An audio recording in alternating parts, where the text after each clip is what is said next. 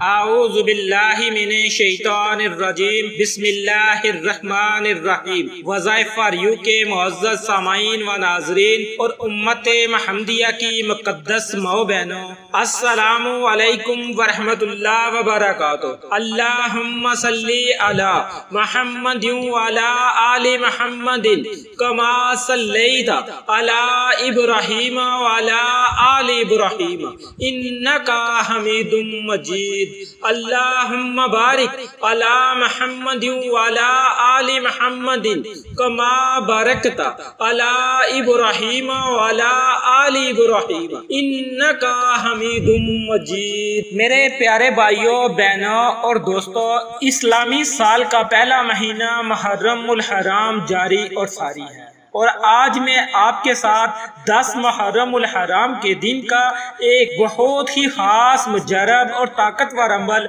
आपके साथ शेयर करूँ। ये वजीफ़ा करान पाक की एक बहुत ही खास सूरा मुबारक और चार रकत नमाज़ नवाफल का वजीफ़ा है। कुरान पाक की वो सूरा मुबारक सूरा इखलास है। इस सूरा मुबारक की इतनी ज़्यादा फजीलत है। इस सूरा मुबारक में अल्लाह रब्बुल इज़्ज़त की वहदनियत बयान की गई है। इसमें अल्लाह रब्बुल इज़्ज़त की तारीफ़ बयान की गई है। प्यारे समाइन दुनिया में रहते हुए अगर किसी इंसान को किसी अफीसर से, किसी चौधरी से कोई बात मनमानी हो तो वो बंदा उनके पास जाता है और बार बार उनकी तारीफें बयान करता है। उनकी तारीफों के पुल बाँध देता है और वो बंदा खुश होकर उस बंदे का काम कर देता है। तो मेरे प्यारे भाइयों, मेरी प्यारी बहनों, अल्लाह रब्बुल इज़्ज़त तो वो जात है जो इंसान को बिन मांगे अता करता है। और जब बंदा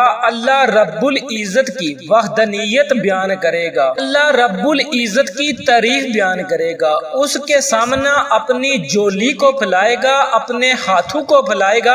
तो अल्लाह रब्बुल इज़्ज़त कभी भी आपकी हाली जोली को नहीं लटाएगा, आपके हाली हाथों को नहीं लटाएगा। हदीस पाक में आता है कि नबी करीम सल्लल्लाहु अलैहि वसल्लम का फरमाने अली शान है कि अगर बंदा एक मरतबा सूरत इखलास को पढ़ता है तो अल्लाह रब्बुल इज़्ज़त उसके नामा माल में दस पारे पढ़ने का सवाब लिख देता है। और अगर बंदा तीन मरतबा सूरत इखलास पढ़ ले तो अल्लाह रब्बुल इज़्ज़त उसके नामा माल में एक पूरा करान पढ़ने का सवाब लिख देता है। मोज़ सामाइन सूरत इखलास की बहुत ज़्यादा फजीलत है। इसको पढ़ने से आपको दुनिया में भी फ़ायदे होंगे और आपको आहरत में भी इसका फ़ायदा ज़रूर मिलेगा। चैनल पर नए आने वाले तमाम सामाइन से गुजारिश है कि वो चैनल को सब्सक्राइब करके साथ घंटी के बटन को दबाकर आल नोटिफिकेशन ऑन कर लें ताकि हमारी हर नई अपलोड होने वाली वीडियो का नोटिफिकेशन आपको बर वक्त मिल सके। और अगर वीडियो अच्छी लगे तो इसे लाइक और अपने दोस्तों रिश्तेदारों के साथ शेयर लाजमी कीजिएगा। मोजत समाइन, जैसा कि मैं आपको बता चुका हूँ कि आपने ये वजीफा दस मुहर्रम के दिन किसी भी वक्त करना है। वक्त की कोई कैद नहीं।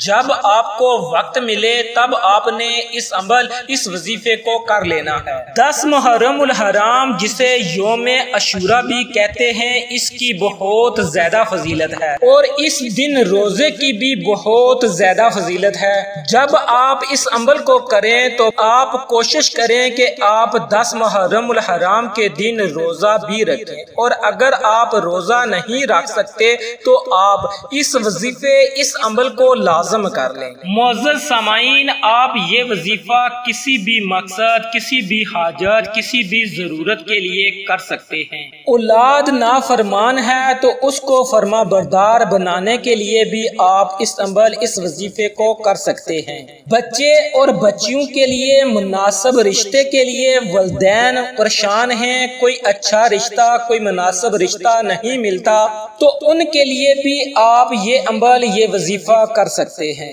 रिजक की तंग दस्ती है तो रिजक की तंग दस्ती को दूर करने के लिए भी आप ये अमल कर सकते हैं। घर में परेशानियाँ हैं, मुसीबतें हैं तो आप उन परेशानियों, उन मुसीबतों के लिए भी ये वजीफा कर सकते हैं। आपने इस अमल को कैसे करना है, किस तरीके से करना है, ये आप अच्छी तरह से समझ लें। आपने सबसे पहले चार रकत नमाज़ सलातुल हजात अदा करने हैं। ये चार रकत नमाज़ नवाफल आपने दो दो करके अदा करने हैं। आपने दो रकत नमाज़ नफल की नीयत करनी है और सूरत फातिहा के बाद आपने तीन मरतबा सूरत इखलास पढ़नी है। इसी तरह आपने दूसरी रकत में भी सूरत फातिहा के बाद तीन मरतबा सूरत इखलास पढ़नी है।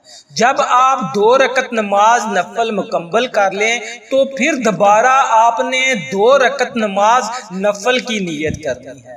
पहली रकत में भी सूरत फातिहा के बाद आपने तीन मरतबा सूरत इखलास और दूसरी रकत में भी आपने सूरत फातिया के बाद तीन मरतबा सूरत इखलास को पढ़ना है। इस तरह आपने चार रकत नमाज़ नफल मुकम्मल कर लेने हैं। जब आप चार रकत नमाज़ नफल मुकम्मल कर लें तो फिर आपने उसी जगह बैठकर अव्वल, आखिर, सात मरतबा अजूर नबी करीम सल्लल्लाहु अलैहि वसल्लम की ज़ात अकदस पर दरूद व सलाम का नजराना पेश करना है। जब आप सात मरतबा दरूद पाक पढ़ लें तो फिर आपने कम अज कम इकतालीस मरतबा सूरत इखलास को पढ़ना है। और अगर आपके पास टाइम है तो आप 200 मरतबा सूरत इखलास को पढ़ लें। अगर आप सूरत इखलास को 200 मरतबा पढ़ लेते तो आपको इस अमल, इस वजीफे का 10 गुना फ़ायदा होगा। अगर आप 200 मरतबा नहीं पढ़ सकते तो कम अज कम आपने इकतालीस मरतबा सूरत इखलास को लाजमी पढ़ना है। जब आप सूरत इखलास को पढ़ लें तो आहर में फिर आपने एक तस्बी के बराबर, यानी कि एक सौ मरतबा।